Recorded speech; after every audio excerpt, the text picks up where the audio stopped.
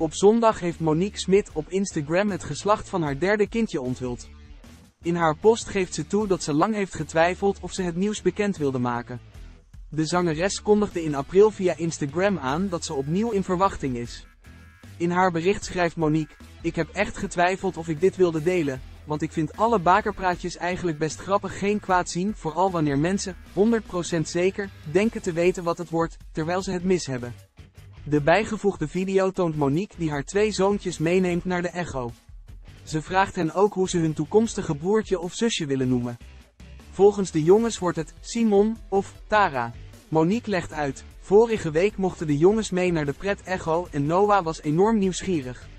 Aan de andere kant bedacht Luca elke dag een andere naam voor wat er in mama's buik zat. Het antwoord was telkens een verrassing, variërend van een oliebol tot een aap. Gelukkig klopte deze niet, en nu mag iedereen het weten, het is een meisje. PS de naam is nog niet bekend hoor lach met open mond, zie filmpje, aldus de zangeres.